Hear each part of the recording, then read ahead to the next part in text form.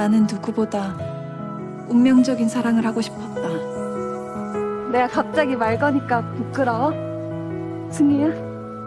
어느 쪽이 더 운명이겠냐? 사랑해 난 수영 특기생 우대성이야. 그 앞으로 깐죽거리는 놈 있으면 나한테 다 얘기해. 이거 한번 타봐. 모습 내가 봐도 이제 조금은 나 기다렸구나.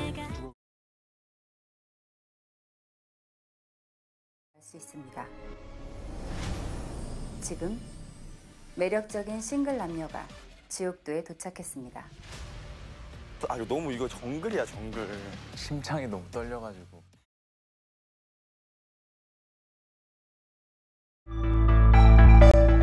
뭐야?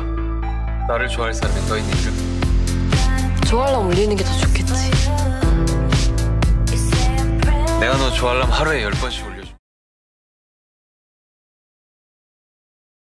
미국 가서도 연락할게. 너 메일 주소 바꾸면 안 돼? 당연하지. 꼭 연락해야 된다?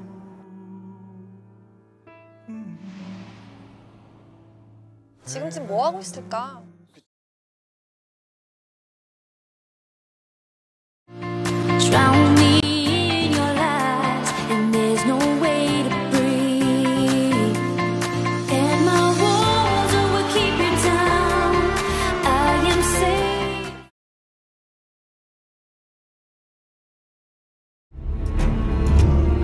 이 자리에 계신 여러분들은 모두 감당할 수 없는 빚을 지고 삶의 벼랑 끝에 서 계신 분들입니다.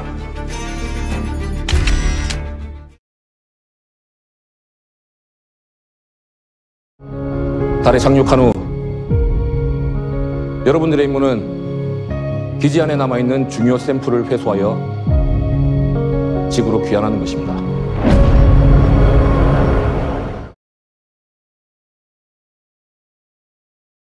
넌 이제부터 그 여자 이름으로 쓴다.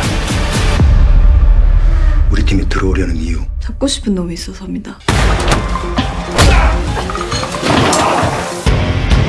너 뭐 하는 X냐?